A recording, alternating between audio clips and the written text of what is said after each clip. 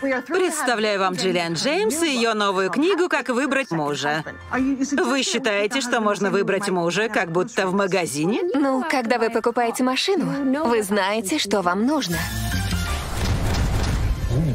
Отлично выглядишь. Почему ты не в костюме? На меня никто не смотрит, только на тебя. Ты в берцах. Никто не смотрит на мои ноги. Поедем в Париж на юбилей свадьбы, как мы собирались. Это ты собирался. Я не смогу поехать, у меня столько дел. Если ты не можешь, то я съезжу один, ладно? Ты хочешь поехать в нашу поездку один?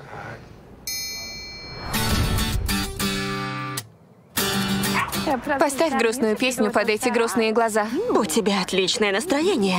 Ты не поверишь, что устроил Джастин. Я бы очень хотела побыть одна. Почему вы расстались с папой? Я знаю, что из-за другой женщины, но Да, именно потому, что у твоего отца была любовница. проблема не во мне, а в нем. Да нормально все будет. Вот ты нашла хорошего мужа. Пойдем с нами в парк. Мне надо писать новую книгу. Звучит отлично. Называется «Секрет счастливого брака».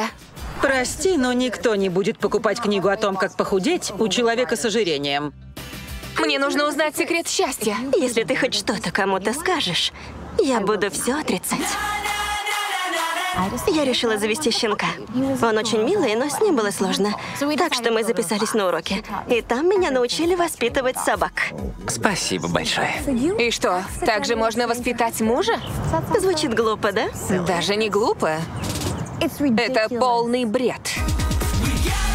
Мне срочно нужна книга о дрессировке щенка. Какого щенка? Пока не знаю. Смотри, какой он умный.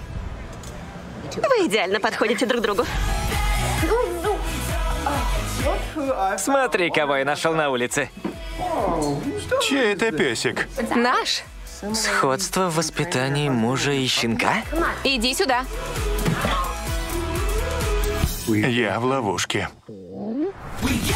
Как воспитать мужа? Всегда держи его на коротком поводке. Рядом с собой.